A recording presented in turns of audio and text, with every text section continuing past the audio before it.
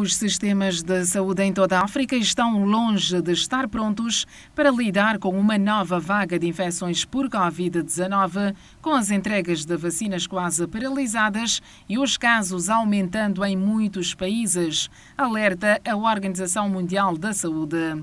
O diretor-geral da OMS disse que a África deve deixar de depender da importação de vacinas contra a Covid-19 e desenvolver capacidade de produção de vacinas e outros produtos médicos. Até agora, a África administrou pouco mais de 31 milhões de doses da vacina Covid-19, ou seja, 2% do total global. Isto está longe de ser suficiente lamenta o diretor-geral da Organização Mundial da Saúde. Entretanto, a ameaça de uma terceira onda na África é real e está aumentando disse a diretora regional da OMS para a África. A África registrou oficialmente mais de 4,8 milhões de casos e mais de 130 mil mortes, de acordo com a Organização Mundial da Saúde, representando 2,9% dos casos globais e 3,7% das mortes.